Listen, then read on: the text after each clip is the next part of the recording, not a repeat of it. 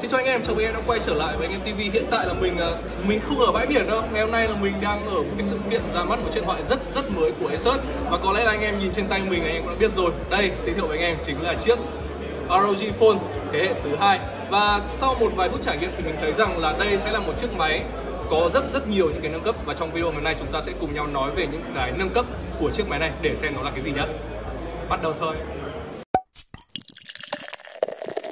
Anh em ơi rồi về cái đầu tiên thì mình sẽ khoan nói về cái thiết kế của chiếc máy này mà mình sẽ chú trọng vào cái phần mà mình biết rằng em đang rất quan tâm. Đó chính là về những cái phụ kiện của chiếc ROG Phone thế hệ thứ hai.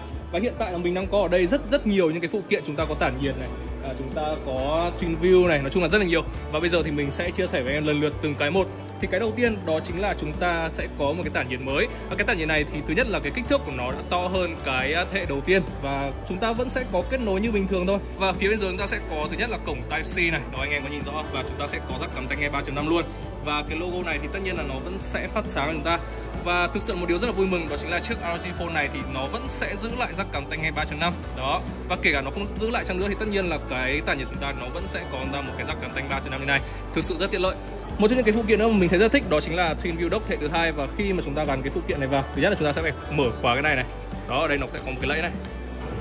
Rồi, sau đó thì gắn cái điện thoại chúng ta vào và chúng ta sẽ có hai cái màn hình. Đây cũng là một trong những cái phụ kiện mà mình thấy rất là hữu ích đối với những bạn nào là streamer. Các bạn có thể là đọc comment ở cái màn hình bên trên và cái màn hình dưới chúng ta có thể là dùng để chơi game. Và một trong những cái thông tin nữa mà mình muốn chia sẻ với anh em đó chính là cái Twin Video hệ thứ hai này. Thì cái viên pin của nó thì cũng rất là lớn lên tới là 5000 mAh 5000 nha anh em anh em lưu ý bên trong này.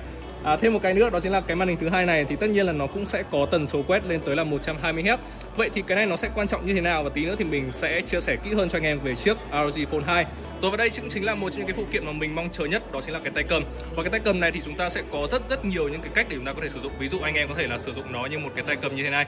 Và bên cạnh đó thì chúng ta có thể là tháo nó ra, tháo nó ra và sau đó thì gắn trực tiếp vào điện thoại đấy, để chúng ta có thể có được một trải nghiệm chơi game nó tiện hơn rất rất nhiều rồi, và anh em có nhớ cái ban nãy mình có chia sẻ với anh em không? Cái Twin Vidoc ấy Và anh em nghĩ sao nếu như mà mình bảo với anh em rằng bây giờ chúng ta đã có thể kết hợp cái tay cầm này với lại cái từ view dock Đây, anh em không tin đúng không? Bây giờ mình sẽ thử cho anh em xem nhá. Đấy, nó giống kiểu Transformer ấy. Lắp ghép những cái linh kiện vào với nhau này. Đó, và chúng ta sẽ có một cái thiết bị chơi game. Nhìn rất tuyệt vời luôn. Đó, anh em thấy không? Chúng ta có tay cầm, chúng ta có màn hình.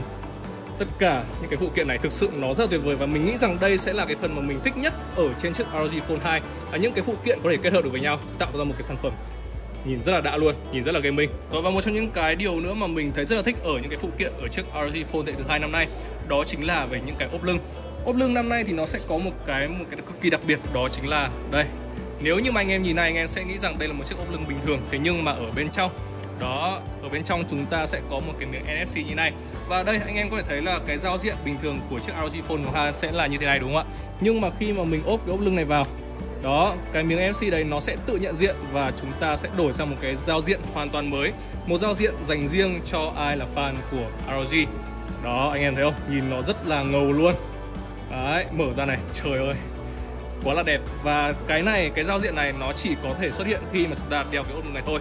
Rồi, và như vậy thì chúng ta đã nói qua một chút về những cái phụ kiện và đó chính là cái phần mà mình thấy rằng nó hấp dẫn nhất ở trên chiếc ROG Phone thứ hai và bây giờ chúng ta sẽ nói về cái chiếc máy này đầu tiên đó chính là về phần cấu hình à, tất nhiên là với một cái flagship như này thì chúng ta sẽ được trang bị những cái gì tốt nhất ở nhà Android chúng ta sẽ được trang bị con chip Snapdragon 855 Plus là những cái con chip Snapdragon 855 tốt nhất và tí nữa thì mình sẽ giải thích cho anh em. À, chúng ta sẽ còn có thêm 12 GB RAM và tất nhiên là chúng ta sẽ có UFS 3.0 giúp cho chúng ta có được cái tốc độ đọc nhanh hơn giống như là ở trên chiếc uh, OnePlus 7 Pro. Và tất nhiên là cái máy chúng ta bên trong nó sẽ có một cái dung lượng bộ nhớ trong rất lớn lên tới là 512 GB và nói thêm một chút với anh em về những cái con chip Snapdragon 855 Plus. Vậy thì cái Plus ở đây nó sẽ có những cái nghĩa gì? Thì uh, anh em cứ hiểu đơn giản như này. Asus họ đã chọn lọc ra những con chip tốt nhất và sau đó thì họ đã tăng sung cho những cái con chip này Từ 2,84 tăng lên là 2,96 Để chúng ta có được một cái hiệu năng nó tốt hơn. Nói chung là đây là những cái con chip tốt nhất của dòng Snapdragon 855 rồi. Thế nên anh em hoàn toàn yên tâm. Rồi, cái thứ hai mà mình muốn chia sẻ với em đó chính là về phần màn hình. Màn hình thì ở chiếc ROG Phone này thì nó sẽ có một cái điểm nhấn, Đó chính là nó sẽ có tần số quét lên tới là 120 Hz đó, anh em thấy không? Anh em sẽ nhận ra ngay được rằng là cái màn hình này nó mượt đến như thế nào. Cái màn hình này thì nó sẽ có một cái điểm nhấn, đó chính là nó sẽ không có tay thỏ giống như là những cái điện thoại trên thị trường. Và cái màn hình này nó sẽ là màn hình phẳng. Và đây là một cái điều mình thấy khá là hay bởi vì là khi mà chúng ta chơi game ấy, một cái màn hình cong với cả một cái màn hình tay thỏ thì chúng ta rất là dễ chạm vào cái phần màn hình, cũng như là ảnh hưởng tới cái trải nghiệm của chúng ta. Thế nhưng mà cái, với một cái màn hình như này thì chúng ta sẽ tránh được cái điều đó cái màn hình này sẽ là một cái màn hình được kéo dài ra với kích thước là 6,59 inch Tất nhiên là với một cái tỷ lệ cũng khá là dị là 19,5 chia 9 à, Nhưng mà anh em yên tâm là với một kích thước như này chúng ta sẽ có thể dễ dàng cầm nắm. Và mình thấy rằng là cái việc mà họ kéo dài ra như này thì sẽ giúp chúng ta là cầm nắm một cách dễ dàng hơn rất là nhiều. Có những cái điều nữa mình biết rằng anh em game thủ rất là quan tâm đó chính là về cái thời lượng pin của chiếc máy này. Và tất nhiên là mình sẽ mang cho anh em một tin mừng. Đó chính là chiếc máy này ấy, sẽ được trang bị một cái viên pin gọi là không phải lớn nữa rồi mà gọi là khủng khiếp lên tới là 6.000 6.000 mAh. Đúng rồi anh em, không nghe nhầm đâu. Chiếc máy này được trang bị viên pin lên tới là 6.000 mAh. Và tất nhiên là nó sẽ được hỗ trợ công nghệ sạc Hypercharge và sẽ được hỗ trợ cả quick charge 4.0 thành ra là anh em hoàn toàn yên tâm về cái thời lượng pin của chiếc máy này. Chúng ta sẽ không phải lo rằng là cái máy này nó sẽ bị hết pin. Sạc nhanh lên tới là 30W không anh em sợ cái gì, đúng không? Rồi, và tiếp theo mà mình muốn chia sẻ với em đó chính là cái phần cuối cùng, cái phần mà mình thấy rằng là nó ít có những cái thay đổi nhất. Đó chính là về phần thiết kế cũng như là về phần camera rồi phần thiết kế ở đây thì chúng ta tất nhiên chúng ta vẫn sẽ có một cái logo phát sáng này. Đấy, và ở phía mặt lưng thì anh em có thể thấy rằng là chúng ta đã bỏ đi cảm biến vân tay. Và cảm biến vân tay này thì nó ở đâu? Nó sẽ nằm ở phía bên trong màn hình của chiếc ROG Phone luôn. Rất tiện lợi, chúng ta có rắc cắm tai nghe 3.5 này cổng Type C này, cũng như là hai loa trước. Những cái điều mà mình thấy rằng là nó rất cần thiết cho anh em nào là game thủ rồi và thực ra thì với một cái điện thoại gaming ấy, thì camera không phải là một cái phần mà mình muốn nhấn mạnh cho anh em. Thế nhưng mà tất nhiên đây là một chiếc điện thoại và camera nó vẫn là một trong những cái phần không thể thiếu. Và tất nhiên, với một chiếc điện thoại như thế này thì Asus họ vẫn sẽ trang bị chúng ta những cái gì tốt nhất của họ. Ở đây là chúng ta sẽ có camera 48 megapixel này một cái camera thứ hai là 13 megapixel với cái khẩu độ là f1.8 này. Và cái camera chính này thì nó sẽ sử dụng cảm biến của Sony, nói chung là rất là xịn.